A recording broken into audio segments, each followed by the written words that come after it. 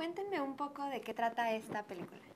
Bueno, eh, Héroe de Centro Comercial 2 es una comedia, es una comedia que no es la típica comedia divertida donde solamente te vas a ir a reír, sino, sino además de eso, porque sí te hace reír mucho, a carcajadas te va a doler el estómago, eh, además de eso es una comedia que te da algo más, eh, nos ayuda a entender qué significa ser ese héroe que todos somos llamados a ser y que gracias a esos héroes desconocidos nuestro planeta sigue vivo. Eh, y me refiero al, usar tus talentos para servir a los demás sin esperar nada a cambio, como lo hace Paul Blart en, en, la película, en todo momento, siempre buscando ayudar a alguien hoy, no, no ayer, no mañana, sino hoy, ayudemos a alguien hoy. Es una película también que nos, nos, nos, habla de la importancia de ser un buen padre, como lo es Paul Blart en la película, un excelente padre que defiende a su hija, la cuida, la guía, da la vida por ella.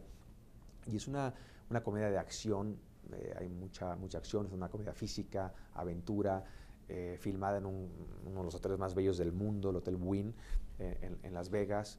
Y la verdad es que mm, para Daniel y para mí fue un, vamos, una bendición trabajar en esta, en esta película donde además se eleva la dignidad del latino en esta historia, porque hay muchos latinos en la, en la, en la historia. Su hija, Daniela, la manager general del, del, hotel, el jefe de seguridad del, del hotel, Eduardo Furtillo, Así es que estamos muy contentos con esta, con esta comedia que estoy seguro va a tocar el corazón de México. Más que una comedia, va a ser una experiencia familiar. Ninguno de los dos hace mucha comedia. ¿Cómo le hacen para no reírse en estas escenas si no están acostumbrados? I failed miserably. I laughed almost every single time because everyone was so funny and it was just such a mm. fun set. Everyone was loose. Um, but I think during every take, I at least got one. I got one serious take. So. I think that's what you see on film.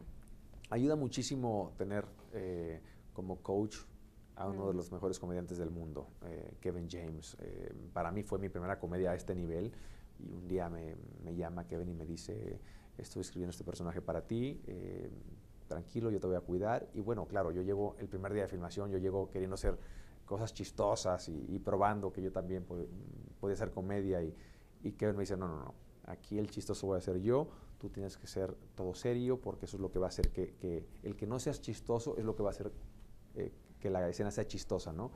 Así es que, repito, tenerlo a él como coach mm, a mí me ayudó muchísimo, me cuidó, nos cuidó a todos y la verdad que pues muy, muy, muy contentos con el resultado final. Me gusta hacer reír a la gente, creo que es una terapia increíble, sobre todo en momentos difíciles donde hay tanto dolor en el mundo.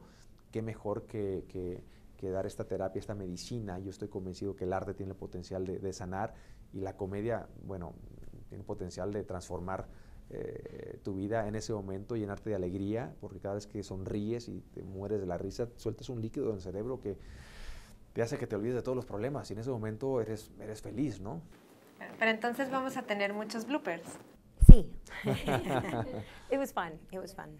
¿Hay una escena que tenga que te acuerdes que hayas repetido muchísimas veces?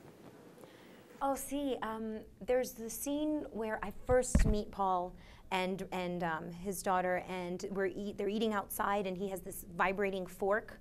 That mm. scene, because the fork, it, it really did. It, it, so every time, it was just hysterical because it would go flying, and it would we'd chase it, and it, it would like leave the set. It, the fork had a mind of its own. but it was it was really that that day was really fun for me. I, Yo sé que este que esta película no ocurre en un mall, pero queremos conocerlos un poco más, así que les voy a preguntar, les voy a hacer preguntas rápidas de sus preferencias de comida de mall y ustedes me responden lo primero que se les ocurra, ¿ok? A la misma vez. Uno, dos, uno, dos. ok.